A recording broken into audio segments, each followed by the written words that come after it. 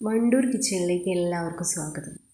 ഞാനിവിടെ നിന്ന് ഉണ്ടാകാൻ പോകുന്ന ഒരു സ്പൈസി ഉള്ളി ചിക്കനാണ് കേട്ടോ നമ്മൾ മലപ്പുറത്തുകാർക്കൊക്കെ ഇത് അറിയാവുന്നൊരു ഡിഷായിരിക്കും അവിടെ ഇതിനെ ഉള്ളിക്കോഴി എന്നും പറയും കേട്ടോ ചിലവർ രണ്ടും സെയിം തന്നെ. അപ്പോൾ നമുക്ക് നേരെ വീഡിയോയിലോട്ട് കിടന്നാലോ?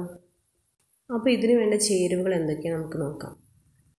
ചിക്കൻ നമ്മൾ ചെറുതായി കട്ട് ചെയ്തതാണേ. ഇത് ഇതുപോലെ തന്നെ കട്ട് ചെയ്യണം കേട്ടോ ചിക്കൻ ഏകദേശം ഒരു മുക്കാൽ കിലോ പിന്നെ ഒരു കപ്പ് ചെറിയുള്ളി പിന്നെ ഒരു തേങ്ങയുടെ മുറി ചെറുതായി അരിഞ്ഞത്. പിന്നെ കറിവേപ്പില വറ്റൽമുളക് ഒരു ഇരുപതെണ്ണം എടുക്കണം കേട്ടോ. നമ്മളിവിടെ എരിവിന് വേണ്ടി മെയിനായി ചേർക്കുന്നത് വറ്റൽമുളക് തന്നെയാണ് കേട്ടോ. പിന്നെ ഒരു കളറിന് വേണ്ടി മാത്രം നമ്മൾ അര സ്പൂൺ മുളക് പൊടി ചേർത്ത് കൊടുക്കുക. പിന്നെ ഒരു അര സ്പൂൺ മഞ്ഞൾപ്പൊടി ചേർത്ത് കൊടുക്കുക. പിന്നെ നമുക്കിതിന് ആവശ്യമായ ഉപ്പ് ചേർത്ത് കൊടുക്കുക. ആ ഉപ്പ് ആവശ്യത്തിന് ചേർക്കണം കേട്ടോ. എന്നിട്ട് ഇതെല്ലാം കൂടി ചേർത്ത് നന്നായിട്ട് മിക്സ് ചെയ്ത് വെക്കാം. നിങ്ങളിതൊരു പത്ത് മിനിറ്റെങ്കിലും റെസ്റ്റ് ചെയ്യാൻ വെക്കാൻ മറക്കരുതേ. നിങ്ങളിപ്പോൾ ചിന്തിക്കേണ്ടത് എന്തെങ്കിലും വെളുത്തുകൊണ്ടിരിക്കണം പക്ഷേ ഇത് ഈ വറ്റൽമുളകിലും ചെറിയുള്ളിയിലൊക്കെ കിടന്ന് നല്ലൊരു അടിപൊളി കളറാവട്ടോ ലാസ്റ്റ് ഓക്കെ നമുക്കൊരു പാൻ എടുത്തിട്ട് അതിലേക്ക് വെളിച്ചെണ്ണ ഒഴിച്ചു കൊടുക്കാം. വെളിച്ചെണ്ണ ഒരു അത്യാവശ്യം ഒഴിക്കണം കേട്ടോ. ഒരു രണ്ട് മൂന്ന് ടേബിൾ സ്പൂണെങ്കിലും ഒഴിക്കണേ.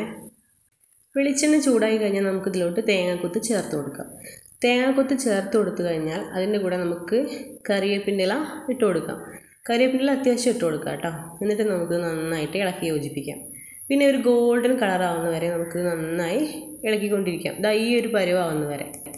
ഈ സമയത്ത് നമുക്ക് ഇതിലോട്ട് വറ്റൽമുളക് ചേർക്കാം. വറ്റൽമുളക് ഇതാ ഒരു കൈ കൊണ്ട് ഇങ്ങനെ ജസ്റ്റ് പൊട്ടിച്ചിട്ട് വേണം ഇട്ട് കൊടുക്കാൻ കേട്ടോ. വറ്റൽമുളക് അത്യാവശ്യം ഒരു ഇരുപതെണ്ണെങ്കിലും ഇടണേ. എന്നാലേ നമുക്ക് ഇതിന് ആവശ്യമായ എരിവ് ഉണ്ടാവുള്ളൂ. കാരണം നമ്മൾ മുളക് പൊടി ഇരി കുറച്ചല്ലേ ഇടുന്നുള്ളൂ. ഈ സമയത്ത് നമുക്ക് ഇതിലോട്ട് ചെറിയുള്ളി ചേർത്ത് കൊടുക്കാം. ചെറിയുള്ളി ചേർത്ത് കഴിഞ്ഞാൽ പിന്നെ നന്നായിട്ട് ഇളക്കിക്കൊണ്ടിരിക്കണം കേട്ടോ. തീ അല്പം കൂട്ടി വെച്ചിട്ട് തന്നെ ഇളക്കിക്കോളൂ. എന്നാൽ പിന്നെ പെട്ടെന്ന് വൈൻഡ് വന്നോളും.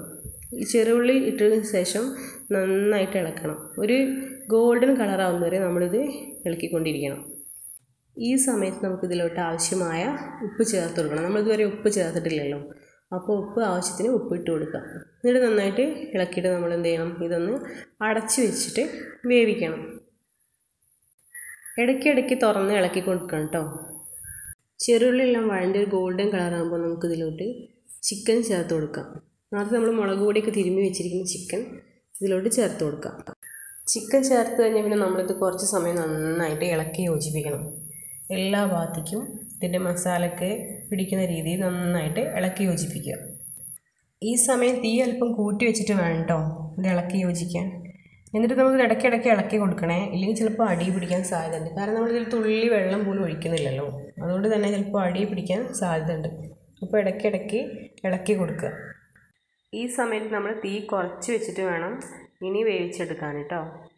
ഇപ്പോൾ കണ്ടില്ലേ ഇതിലെ ഉള്ളിയൊക്കെ നന്നായി അലിഞ്ഞു വരുന്നുണ്ട്. ഇനി ഇതെല്ലാം ഒരു ബ്രൗൺ കളർ ആവണം കേട്ടോ. അതുവരെ നമ്മൾ നന്നായി ഇളക്കിക്കൊണ്ടിരിക്കണേ. ഇടയ്ക്കിടയ്ക്ക് ഇളക്കി കൊടുത്താൽ മതി. തീ കുറച്ച് വെച്ചതാണല്ലോ. എന്നിട്ട് അടച്ച് വെച്ചിട്ട് ഇടയ്ക്കിടയ്ക്ക് ഇങ്ങനെ ഇളക്കി കൊടുത്തുകൊണ്ടിരിക്കുക. ഈ സമയമാകുമ്പോൾ നമുക്ക് ഉള്ളിച്ചിക്കൻ ഒന്ന് അടപ്പ് തുറന്ന് വെച്ചിട്ട് കുറച്ച് ഇത് വെള്ളമൊക്കെ ഒന്ന് വറ്റുന്ന വരെ ഒന്ന് ഇളക്കി കൊടുക്കാം. അപ്പോൾ നമ്മൾ ഉള്ളിച്ചിക്കൻ റെഡി ആയിട്ടുണ്ട്. നമുക്കിതൊരു പാത്രത്തിലോട്ട് മാറ്റി കൊടുക്കാം കേട്ടോ.